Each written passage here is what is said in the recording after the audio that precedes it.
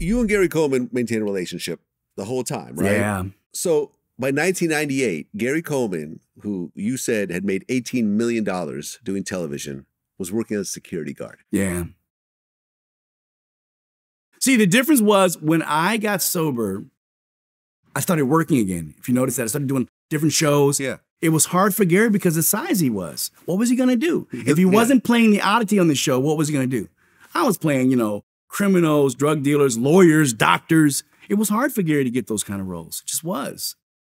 Well, uh, he was in the mall uh, shopping for some security guard stuff, and a woman approached him who was a fan, wanted an autograph. He said no, and then she started talking shit about him, Yeah. and then a fight broke out where I guess he punched her in the face a few times, and then he had to go to Well, court. he, has got to get a step stool to do it. So you can't know, just swing up. You got to go up something and go. yeah, I don't quite know how, how he figured that out, but he ultimately went to court and uh, he pled no contest. He got a suspended uh, jail sentence. And what, what, what year, what part, when was that? this was 1998. So what happened was by 1999, I get a phone call from Gary Okay. and he goes, Todd, I'm sorry.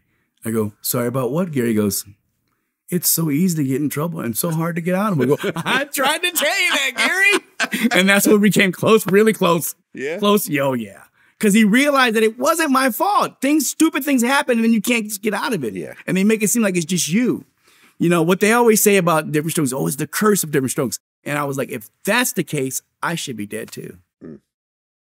I mean, how hard is it for Gary to be this major TV star to working as a security guard and people Yeah. are recognizing him know, as the security Yeah, guard? it- That's the worst part. You could be Oh, a, yeah. listen, you know, everyone, you know, other people that are really are not known could be security guards. They could have a fruitful life and go on and raise their families and get their paycheck. But when Yeah. you're Gary Coleman with the what you talk about, Willis, and people are over there like, motherfucker, you look familiar. And, and the problem is, is that, you know, the media is going to make a big thing about it. They're going to embarrass you even more. Yeah. You know, and that's the sad part about it. But it was like, it was harder for him to get acting roles than it was for me. You know, Yeah. like once the show stopped, yeah, I get, I put myself through all that. But then again, when I got sober, I started working like crazy, you know, in different shows. I'm, I was on World's Dumbest for 13 years, you know, Mm-hmm. one of the main leads on that, you know, and it's like, you know, you see the different, what I always tell people is if you start out as a comedian, it's a lot harder to do serious work.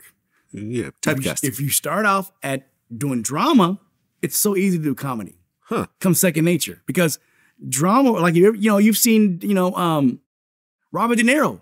Yeah. He's hilarious. Yeah. And Analyze why- this. Why is he hilarious? Fockers, yeah. Because he's a good dramatic actor. Yes. If you've seen everything I've done when I was younger, it was all drama, drama, drama, drama, drama. Comedy came later, you know. And so comedy is just it's easy for anybody who's a, who's a who's a dramatic actor to do comedy. It's not that hard, you know. It's just timing and all that.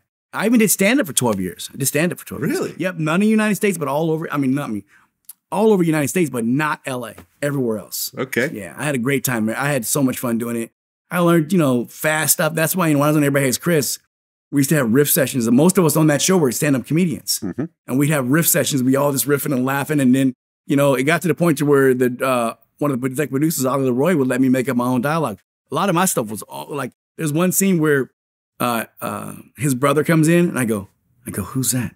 He goes, my brother. I went, oh, sh- I was to stab him. and I go, because he's your brother, I won't. So all that stuff, I, I made up so many dial, so much dialogue on that show, and they just, it was just hysterical. You know, because you know it's just natural stuff that's fun to do.